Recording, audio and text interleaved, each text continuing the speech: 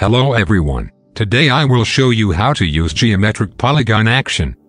This product contains three files, Action, Brushes, and Patterns files. Before we start the action you must load the three files to Photoshop, and here is the easiest way to do this. From Actions panel press on small top corner icon. Choose Load Actions. And select Action file from your computer. Action file is loaded successfully now. Go to Edit menu. Choose Presets, and select Preset Manager. From the new appeared window, press on Drop menu and choose Brushes. Press on Load button, and select Brushes file from your computer. Now, from Drop menu again choose Patterns. And press Load button, and select Patterns file from your computer.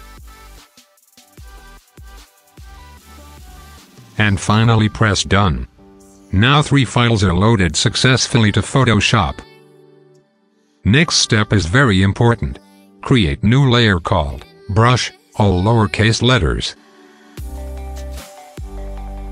Choose brush tool and select soft or hard rounded brush.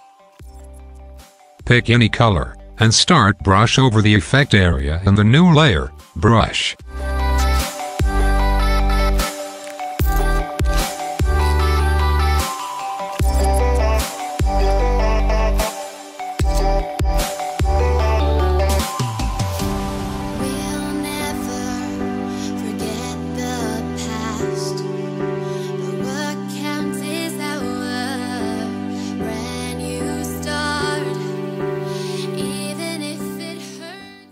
I play action.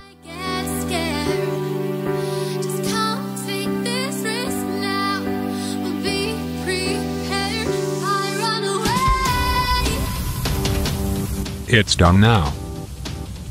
You can change colors and adjustment as you like. There are 8 different colors options.